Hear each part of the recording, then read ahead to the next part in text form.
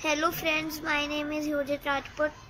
Today we are going to light, shadow and reflection.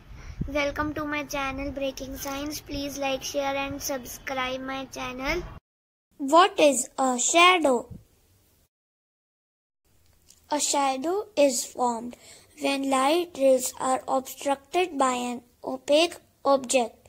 In this image, you can see the sun is the source of light and the tree is an opaque object. If the object is moved closer to the screen, the shadow gets smaller.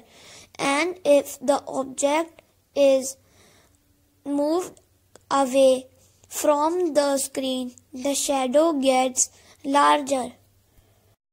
This is my shadow. What is reflection? The bouncing back of light is called a reflection. In this image, you can see that light travels in a straight line and gets reflected from a mirror. Here you can see ray of light from sun falls on the mirror and is reflected on the cardboard. Thanks for watching guys. Bye.